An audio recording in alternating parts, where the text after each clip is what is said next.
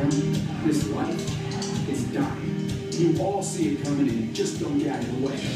We're not fighting for land, Steve. We're fighting for people. You're never gonna get what you can't really take from me. I'll bring the weapon back to you to try. Just brings a tear to your eye.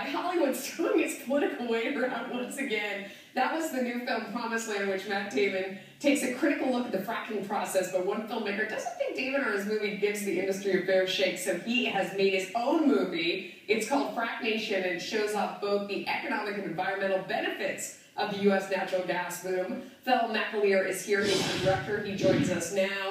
Um, you call Matt Damon a liar recently. That's pretty strong language. That's pretty strong by Irish. We, we, we're, we, yeah, you get passionate. We do, Not we do get involved in strong language. No, I mean, he's, he was he tried to sell his movie. He said, "This is not a movie about fracking. This is not an anti-fracking movie." Yeah. Yes, it is, Matt. It is an anti-fracking movie. Promised Land was an anti-fracking movie. He needs to man up, accept the responsibility for the movie he made, and and, and tell people that. I think that's why it's been such a failure. Uh, it, ha- it has bombed at the box office. No Oscar nominations. The left hated it because Matt wasn't owning it, and the right hated it because it's anti-fracking and it's, it's funded by dodgy sources. Yeah, you know, the, the problem with these kind of movies, I think, is they started out and they said they were going to make the movie about like salmon fishing in Alaska or something, and then they realized, oh, fracking is popular right now, so we'll insert that here in this slot. They were really trying to do a, a movie about people because, of course, that's what people want to go see is people. Unfortunately, in the process, they end up sort of, you know, half dragging an industry through the mud that is probably not fair, right? Yeah, it's not um, fair. Actually, I, I think it's even even more nefarious. yeah, it's more nefarious than that. I think they didn't start off making it want to make a movie of people. They wanted to start off making a movie about fracking, an anti-fracking movie, and they pushed the people on top of the of the, the ludicrous plot and, and the anti-fracking situation. So that's what's wrong. It, it was too. It, they, they, they, they wanted to. It, they wanted to make a polemical movie, but Matt Damon wouldn't own it. He wouldn't Yeah. own the polemic. He didn't. It, it's a it's a passion project of Matt Damon. He's made public videos where he's attacked fracking. That's true. So why make your movie? Tell me about your movie. Well, Frack Nation, which is going to be on AXS TV, Mark Cuban's cable channel, on January 22nd, 9 pm Eastern.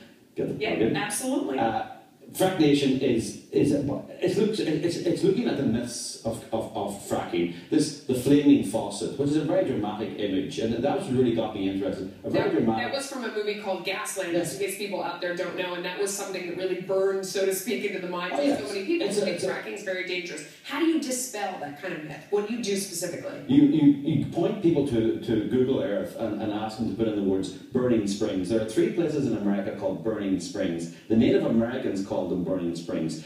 The, water has been on fire in America for centuries. There's a lot of methane, a lot of gas down there. Sometimes it comes up through the water. George Washington lit a, a river in New Jersey uh, uh, centuries before fracking started. Water has always been on fire. It's got nothing to do with fracking. It's Especially in Jersey.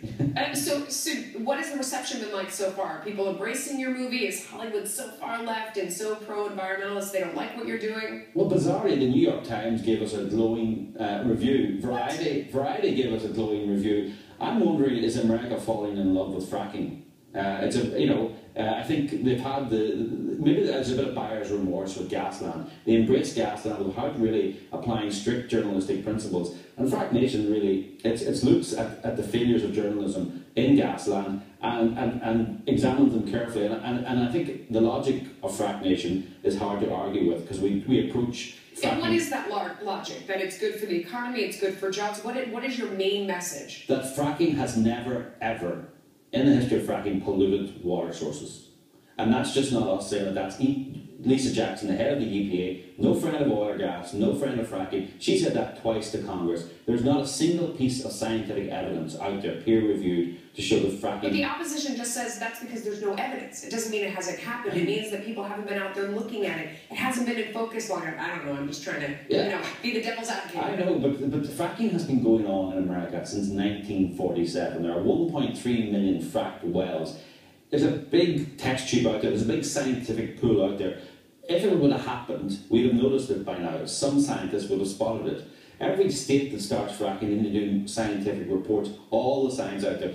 this is one place where genuinely the science is settled. Yeah. Uh, the, the fracking's been going on since 1947. Do you think you'll be able to reach enough people out there, or does somebody like Matt Damon, his name, get all the attention? Well, Fr- Promised Land has done very badly at the box office. It, it hasn't made the money back. It got zero Oscar nominations. It's a very interesting phenomenon. We're going to be on TV, and that's great. Every American, you know, most Americans are going to have a chance to see it. It's going to be on AXS TV, January 22nd, 9 p.m. Eastern. There Uh, you go. You know, you got to get your plug in. I'm Yes. selling a book. I haven't stopped talking about it. Um, thanks for coming on. We Thank you appreciate very much. It's been a pleasure. All right, time now for today's Field Gauge report. Saudi Arabia denies